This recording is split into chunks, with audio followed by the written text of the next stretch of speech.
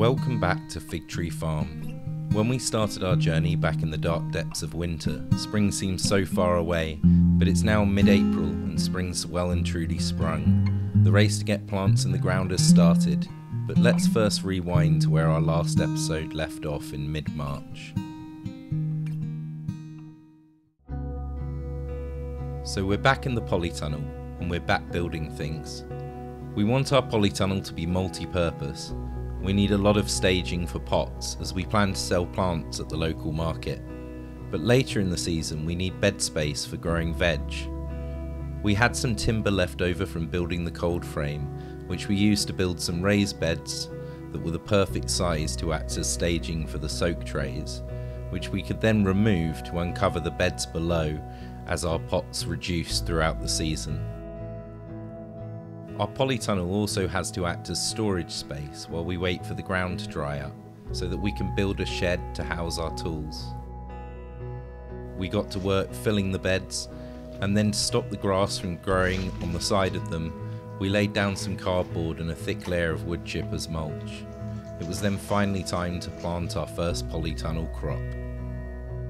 First one, first polytunnel plant planted we definitely didn't just plant it and then take it out and then put it back in for the video, did we?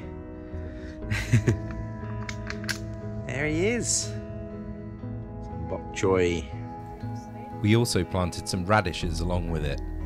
I couldn't believe how fast both the bok choy and the radishes grew, and before long, it was time to harvest. So this guy looks pretty good here, and this guy here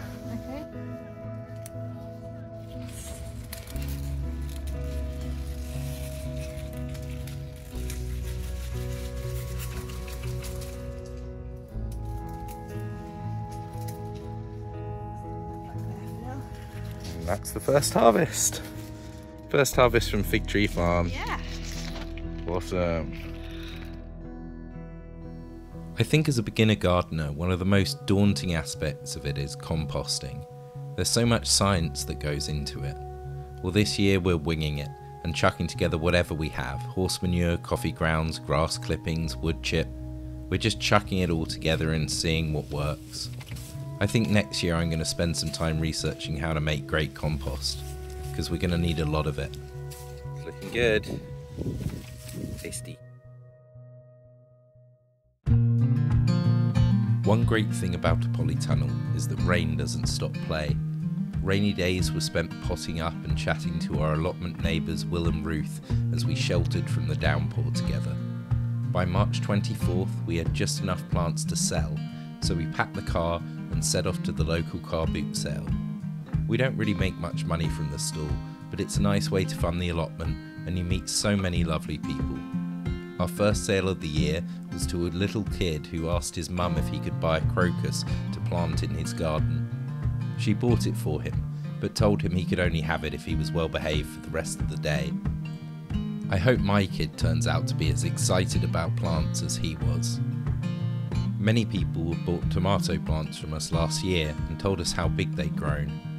If only we could remember which variety we grew. By early April, we were packing two full cars full of plants to take to market. Go on then, let's see if they fit. Reading everybody. Hey. That afternoon, we made the most of the sun our fig tree was looking a little lonely, so we decided to give him some friends. Audrey helped us plant an apple, plum, and pear tree. We planned to plant wildflowers and make a bug habitat between them. We found out afterwards that pear trees need to be planted within 18 metres of another pear tree for pollination. But, luckily, it turns out that two have just been planted in the neighbouring plot. Next, we got to work planting potatoes, We've never planted no-dig potatoes before, so we're excited to see how these turn out. We've planted a wide variety, including a few rows of mystery potatoes which had sprouted in our cupboard. We were too tired that afternoon to cover over the potatoes with a proper layer of compost, so we just mounded them over and added more compost at a later date.